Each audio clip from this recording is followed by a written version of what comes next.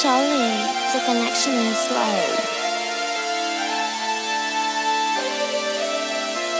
It's me, Arnold.